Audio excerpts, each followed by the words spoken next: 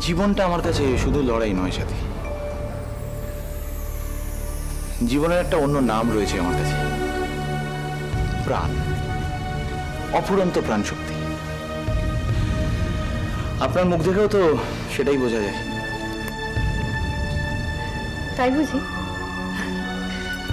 তা কি বলছে আমার মুখ? সেটা আমি মুখে বলব না সাথী। বলবে আমার রং তুলি সাথী সাথী, একটা রিকোয়েস্ট করব আপনাকে। আপনি আমায় কয়েকটা সিটিং দেবেন? আই মিন আমার মডেল হবেন আপনি। আরে হবে হবে। সাথী হবে, সাথী ঘাড় হবে। বলছিলাম আমি আপনাকে কথা দিচ্ছি, স্যার। সাথী আপনার ছবির মডেল হবেই। এই সাথী তুমি যাও না প্লিজ আমার জন্য এক কাপ চা করে নিয়ে না, যাও না।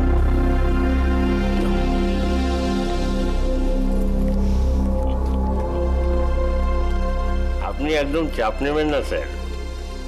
ও সাথীকে বুঝিয়ে সুঝিয়ে ম্যানেজ ফ্যানেজ করে আপনার ছবির মডেল আমি ঠিক তৈরি করে দেবো। থ্যাংক ইউ তবে একটা কথা কি জানেন? মাগনা তো আর হবে না একটু মাল্লু ছাড়তে হবে এই আর কি। হ্যাঁ নিশ্চয়ই।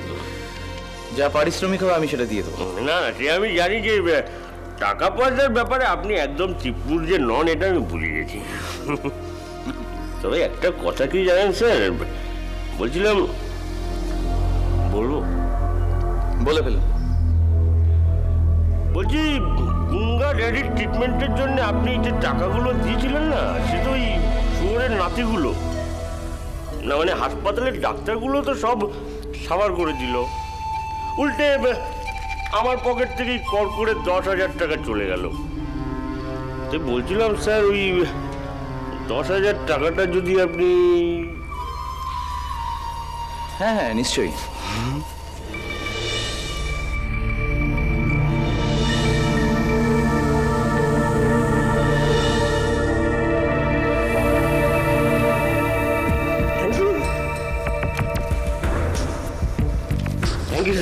ইউ থ্যাংক ইউ স্যার আপনি কিছু মনে করছেন স্যার? আসলে কি জানেন? এই টাকাগুলো আমি আপনার কাছ থেকে নিতাম না। আমার একদম ভালো লাগছে না স্যার। কিন্তু কি করব বলুন তো স্যার? আমার পকেট যে স্যার ঘরের মাঠ এদিকে স্বাধীন আবার খুব শখ। আমায় প্রমোটার বানাবে প্রম- এই তো। আচ্ছা স্যার আপনি বলুন তো শুধু শখ থাকলেই হবে? ধকটা থাকতে হবে না? মাঝে মধ্যে এরকম কর করে মাল্লু যদি হাতে না আসে আমি প্রমোটারটা হব কি করে বলুন তো? কি ব্যাপার? এগুলো কিসের টাকা? সাথী সব ব্যাপারে তুমি চাপ নিও না তো এরকম। আচ্ছা আমি আজকে আসি সাথী হ্যাঁ আসুন আসুন স্যার আসুন। মাঝে মধ্যে আসবেন। গরিবের বাড়িতে মাঝে মধ্যে আসবেন। কিন্তু আপনার মা তো আমাকে প্রয়োজন ছাড়া আসতে বারণ করেছেন হুম? আমার মা? ও দেখেছ মায়ের কথা বলবেন না স্যার। বয়স হচ্ছে তো।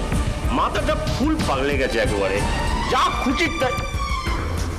মাকে নিয়ে আপনি চাপ নেবেন না স্যার। আপনি আসবেন যখন খুশি আসবেন। ওকে। আসি।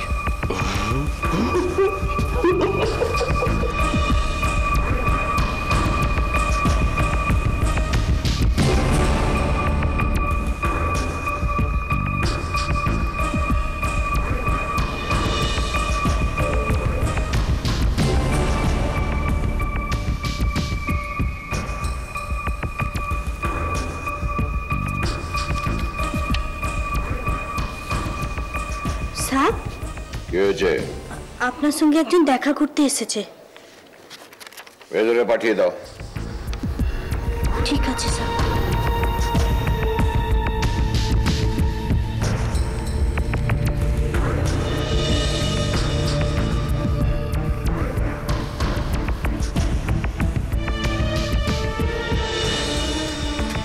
সালাম আলাইকুম স্যার। কি ব্যাপার? তুমি হঠাৎ কি মনে করে? খোকাকে কোথায় ছুপিয়ে রেখেছেন স্যার? সেটা জানার তোমার দরকার নেই। দরকার আছে স্যার। দরকার আছে। আফজল তুমি আজকাল প্রয়োজনের থেকে একটু বেশি কথা বলছো যেটা আমি একেবারেই পছন্দ করি না। আপনার কি পছন্দ না পছন্দ ওটা জানার আমার কোনো দরকার নেই। খোকাকে কোথায় লুকিয়ে রেখেছেন? তুমি তোমার স্পর্ধার সীমা ছাড়িয়ে যাচ্ছ আফজাল। তুমি কার সামনে দাঁড়িয়ে কথা বলছো তুমি নিজেই জানো না मालूम है सब मालूम है আমি কার সামনে দাঁড়িয়ে কথা বলছি মুঝে ইয়ে भी मालूम है कि আমাকে আপনার আর কোনো দরকার নেই তাই আমাকে হটিয়ে দেওয়ার চেষ্টা করছেন না ঠিক বুঝেছ আমার চলার পথের কাঁটা আমি উপড়ে ফেলি এটাই আমার রীতি তাই সব আপনি গুন্ডা লাগিয়ে আমাকে মেরেছেন তাই না লেকিন একটা কথা শুনে রাখুন এ আফজাল নিজে না চাইলে আফজালকে কেউ হটাতে পারে না। ইউ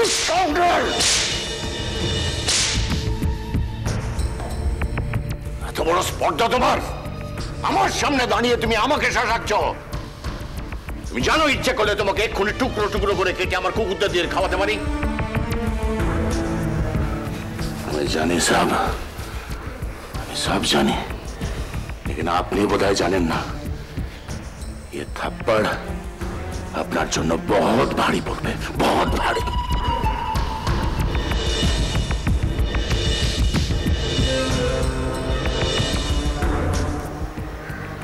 चलिए बस।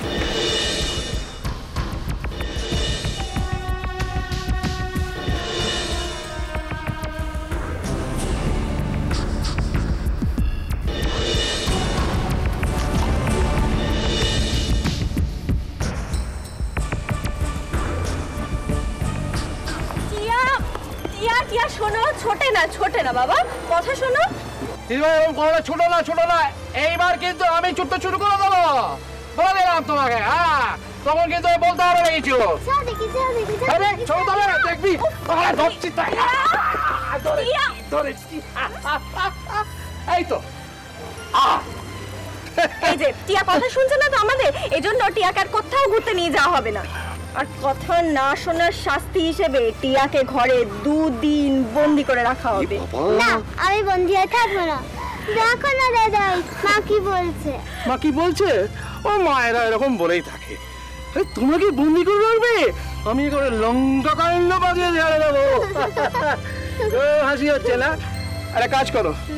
তোর দুজনে বস। ব্যাংকের কাজটা শেষ করে আসছি রে। হ্যাঁ? আমিও যাব। তুমি যাবে আমার সঙ্গে? ঠিক আছে চলো। শোন আমরা দুজনে আসছি হ্যাঁ? তুই কিন্তু কোথাও নড়বি না। চুপটি করে দাঁড়িয়ে থাকবে এখানে ঠিক আছে? আচ্ছা, ঠিক আছে।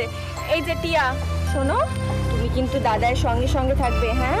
দাদার হাত ছেড়ে যাবে না। ঠিক তো? যাও। চলা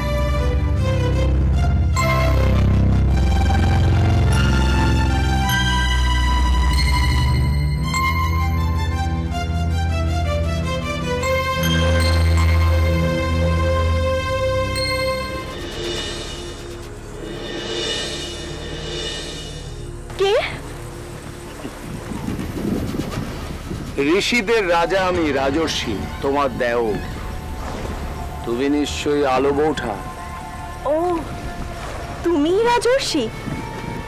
অর্কের কাছে তোমার কথা অনেক শুনেছি। বাবা দাদার কাছে আমার কথা অনেক শুনেছ। অনেক যখন শুনেছ সেটা নিশ্চয়ই নিন্দে। কি তাই তো?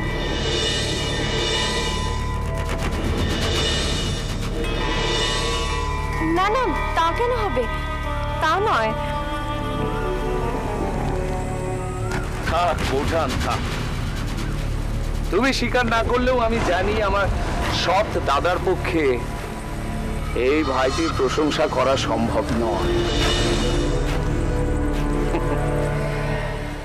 যাকে আমার প্রশংসা, নিন্দের প্রসঙ্গ থাক।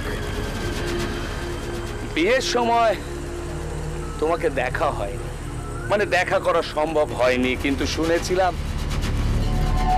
তুমি খুব সুন্দর। রূপসী।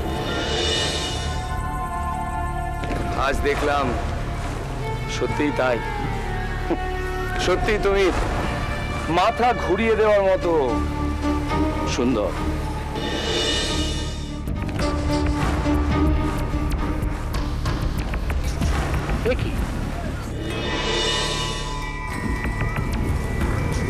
তুমি এখানে কি করছ? যা বাবা। একদিন বাদে ছেলেকে দেখলে কোথায় আল্লাহরে আটখানা হবে আমি তোমার ছেলে বলে স্বীকার করি না। তুমি আমাকে ছেলে বলে স্বীকার করো বা না করো তাতে কিচ্ছু যায় আসে না।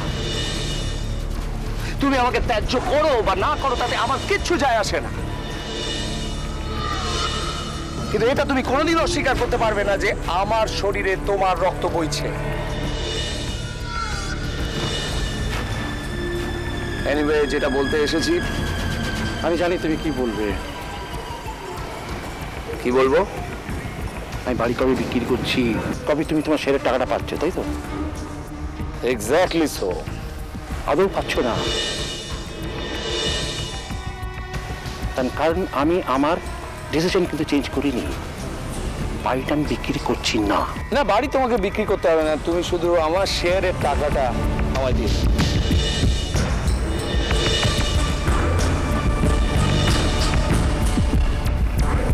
আমার সম্পত্তিতে তোমার তো কোনো শেয়ার নেই তার কারণ আমি তোমায় ত্যায্যপুত্র করেছি।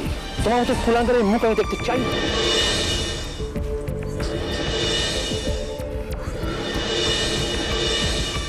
তুমি আমাকে কুলাঙ্গার বলছো? আর তুমি নিজে? নিজে খুব সাধু পুরুষ তাই না? কি বলতে চাইছো তুমি? আমাকে ঘাটিও না বাবা।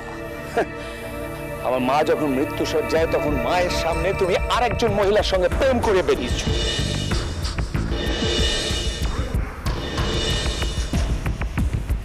আমার মায়ের অসহায় চোখ দুটো দেখে তোমার বিন্দুমাত্র মায়া হয়নি।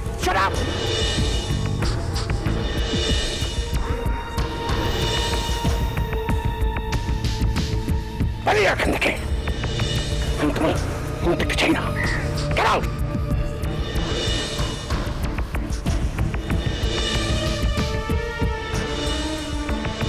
শোনো, কষ্ট করে তোমাকে এখানে এত দূর আসার কোনো দরকার নেই। আমি আগেও বলেছি, আবার বলছি, বাড়ি আমি বেচবো না। আর বেচলে একটা পয়সা তুমি পাবে না। বেচবে বেচবে। বাড়ি তুমি বেচতে বাধ্য হবে। আর আমিও আমার ন্যায্য প্রাপ্য বুঝে নেব। চলি। চলি বৌঠান আবার আমাদের দেখা হবে।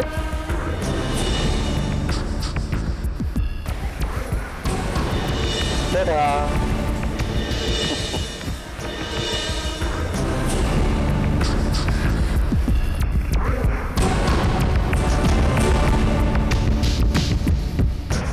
বাবা বাবা কি হবে? কি হবে এবার? ভয় পাস না। একদম ভয় পাস না। আমি যতদিন বেঁচে আছি রাজশ্রী তোর প্রতি আর কারোর কোনো ক্ষতি করতে পারবে না। আমি ওকে ক্ষতি করতে দেব না। কিছুতেই না।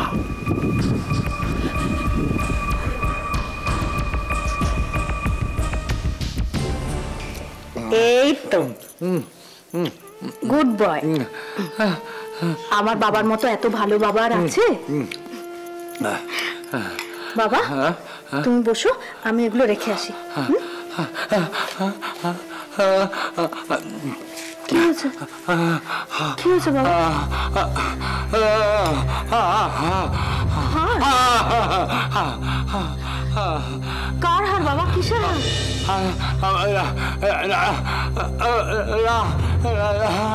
রানী?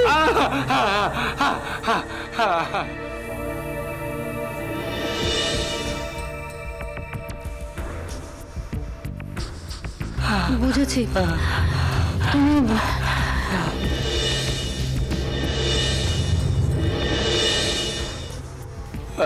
বাবা তুমি রানীর রানীর ওই হারটা চাইছো? যেটা রানীর জন্ম পরিচয় সাক্ষী। কিন্তু কেন বাবা? রানীর জন্ম পরিচয় জানাবার জন্য তুমি এত ব্যস্ত হয়ে উঠেছো কেন?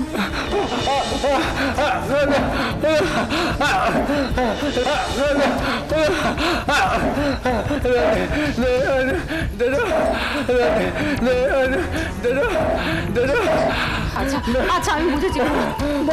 বসো বসো বসো। বসো আমি এনে দিচ্ছি। তুমি বসো।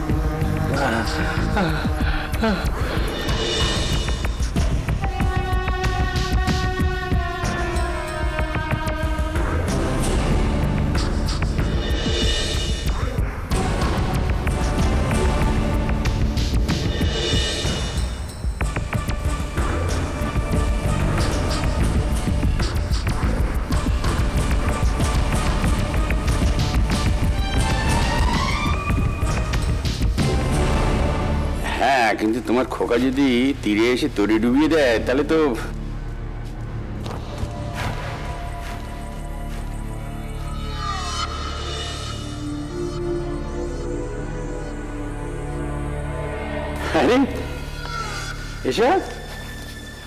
তুমি হঠাৎ কতক্ষণ? অনেকক্ষণ। আপনি ফোনে কথা বলছিলেন, তাই শুনতে পাননি আচ্ছা খোকাকে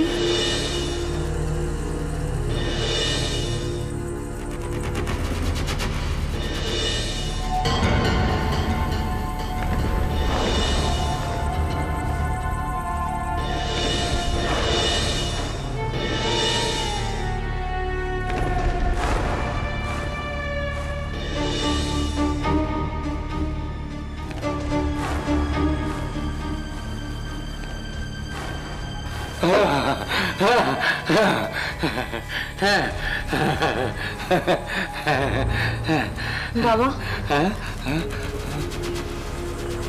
রানীর জন্ম পরিচয় জানাতে গিয়ে আমরা ওকে হারিয়ে ফেলব না তো?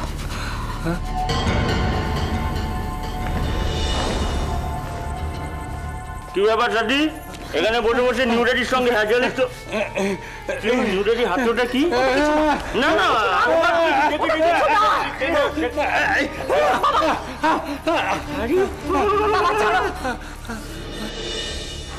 এ তো পুরো আসলি চিজ